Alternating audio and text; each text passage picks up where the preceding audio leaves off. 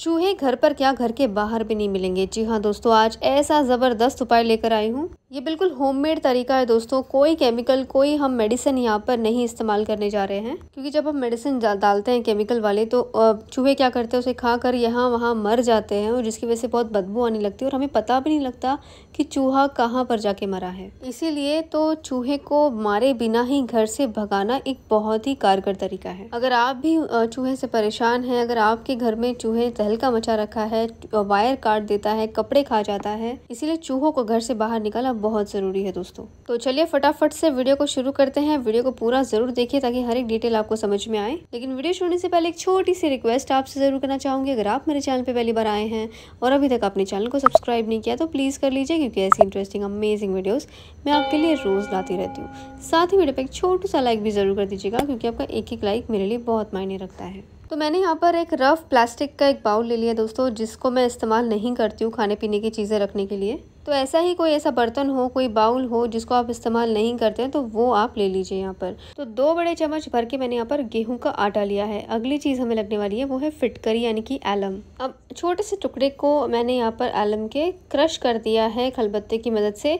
एक फाइन सा पाउडर बना दिया मैंने इसका। अब आधे चम्मच फिटकरी के पाउडर को लीजिए और आटे में मिला दीजिए। अगर फिटकरी को आपने टेस्ट किया होगा तो ऐसा कुछ इसमें रिएक्शन आ, आता है दोस्तों जिसके कारण चूहे भगाने में हमें मदद मिलती है। अब इसके साथ ही ना दोस्तों आपको यहाँ पर लाल मिर्ची डालनी है। तो मैं यहाँ पर लाल मिर्च डाल रही हूँ। आपके पास हरी है तो हरी वाली डाल दीजिए। लाल है तो इस तरीके की लाल मिर्च आप डाल दीजिए। यहाँ पर आपको तीखी मिर्ची इस्तेमाल करनी है और इस तरीके से आपको छोटे छोटे टुकड़ों में इसको कट कर लेना है।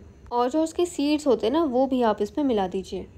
तो दोस्तों, आप मेरे इस वीडियो को दुनिया के किस कोने से देख रहे हैं कमेंट करके बताइएगा। आपका नाम, आपकी जगह का नाम, ताकि अगली वीडियो में मैं अपनी वीडियो देखने के लिए आपको थैंक्स कह सकूँ। मेरा पिछला थैंक्स आता है वैलम के वाई के जो कि नागालैंड से है। तो यहाँ पर करीब मैंने आधी मिर्च मिलाई है। दोस्तों, एक और चीज़ है जो जो कि आपको जानना बहुत ही ज़रूरी है।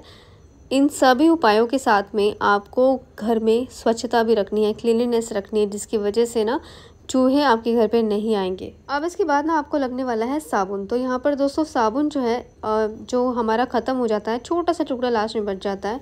तो वही टुकड़ा मैंने यहाँ पर यूज़ किया है। अगर आपके पास ये नहीं है तो आप कोई साबुन ले लीजिए, उसको ग्रेटर की मदद से ग्रेट करके आप यहाँ पर यूज़ कर सकते हैं। यहाँ पे बिल्कुल बारीक सा टुकड़ा है, इसलिए मैं यहाँ पर कैची की मदद से इसको कट कर रही हूँ। आपने अक्सर देखा होगा, साबुन अगर हम यहाँ वहाँ रख देते हैं तो चूहे जो है, साबुन को आते आके खाते हैं। इसलिए मैं यहाँ पर साबुन का इस्तेमाल कर रही हूँ, ताकि चूहे आए और साबुन के वजह से इस मिश्रण को खाएँ। अब इसके बाद इसमें हम डालेंगे कुछ बूंदे नींबू के रस की। तो ये सभी चीज़ें जो है बहुत ही ज़रूरी है दोस्तों। और आखिरी में एक ऐसी ज़बरदस्त चीज़ हम इसमें मिलाने वाले दोस्तों, जिसकी मदद से चूहे जो है इस मिश्रण को खाएँगे ही खाएँगे हंड्रेड परसेंट। अब मैं इसको अभी पानी डाल के मिक्स कर रही हूँ दोस्तों और अच्छे से इसको एक डोग जैसा बनाना है, जैसे रोटी का आटा बनाते हैं ना हम, बिल्कुल उसी तरीके से आपको इसको बनाना है। इसको हमें ज़्यादा सूखा भी नहीं रखना है और ज़्यादा गीला भी नहीं रखना है। दोस्तों, एक चीज़ का आपको ध्यान रखना है कि कुछ भी ज़्यादा सामान आपको आपके घर पे नहीं रखना है। कोई कचरा वगैरह घर पे नहीं रखना है। शाम होते ही दरवाजे, खिड़कियाँ बंद कर दे और सारे चीज़ों, चीज़ें जो है दोस्तों, आपको ध्यान रखनी है इन सारी चीज़ों का। क्योंकि एक बार चूहे घर पे आ जाते हैं, उनको कुछ खाने के लिए मिल जाता है ना हमारे घर पे तो वो घर के बाहर फिर जल्दी जाते नहीं और उनकी संख्या फिर बढ़ती ही जाती है। अब मैंने इसमें मिलाया है करीब एक चम्मच तम्बाकू यानी कि टबैको। तो टबैको दोस्तों बहुत ही ज़रूरी है इसमें मिलाना, क्योंकि कुछ केमिकल्स इसमें ऐसे होते हैं। इन केमिकल्स की वजह से ज़्यादा तंबाकू का सेवन करने से कुछ प्रॉब्लम्स होती है। और चूहों को भी इससे बहुत प्रॉब्लम होती है। इसलिए यहाँ पर हमें दोस्तों तंबाकू का इस्तेमाल ज़रूर करना है। दोस्तों, इसमें कोई केमिकल नहीं है, कोई इसमें मेडिसिन हमने यूज़ नहीं करी है तो बिंदास आप इसको अपने घर पे रख सकते हैं। और अगर हम सोचे कि हम मेडिसिन वाला या केमिकल वाला कोई चीज़ अपने घर पे रखेंगे तो थोड़ा सा वो परेशानी वाली बात हो जाती है, क्योंकि घर में किसी के बच्चे रहते हैं तो जो एकदम से छोटे बच्चे रहते हैं, उन्हें समझ में नहीं आता, हो सकता है कि वो मुँह में ही डाल दें अपने।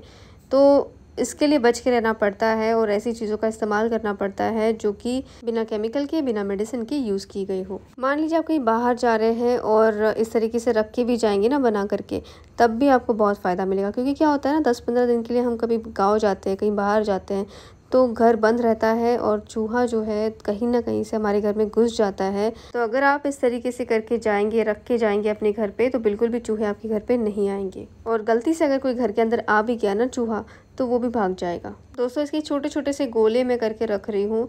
अगर आपकी दुकान है या मकान है तो इस तरीके से ना आप छोटे छोटे गोले बना करके रख सकते हैं। क्वांटिटी कम या ज़्यादा अपने हिसाब से आप कर सकते हैं। तो आप अपने घर को साफ़ रखिए, कचरा बिल्कुल भी घर पे नहीं रखिएगा। और जितनी साफ़ सफ़ाई रखेंगे, जितने कम सामान रखेंगे, उतना ही आप जो है कीड़े मकोड़े, चूहे, कॉकरोचेस आपके घर पे नहीं आएँगे। अब आपको इसमें यूज़ करना है नारियल का तेल।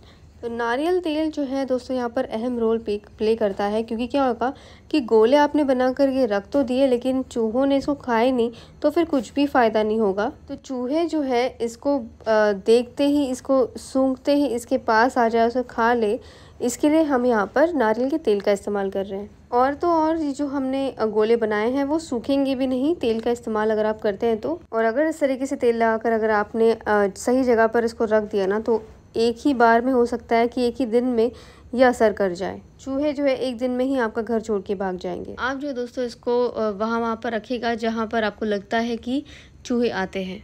हर एक जगह पर, हर एक कोनों कोनों में इसको रखिएगा।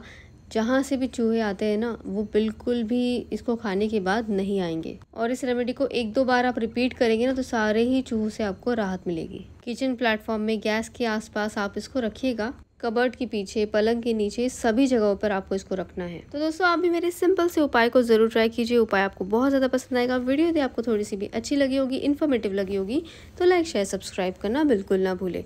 हो सके तो वीडियो को ज़्यादा से ज़्यादा शेयर ज़रूर करें अपने दोस्तों में, रिश्तेदारों में, ताकि आपके ज़रिए उनकी भी मदद हो जाए। Thank you so much for watching video friends मिलते हैं अगले वीडियो में। तब तक के लिए बाय टेक केयर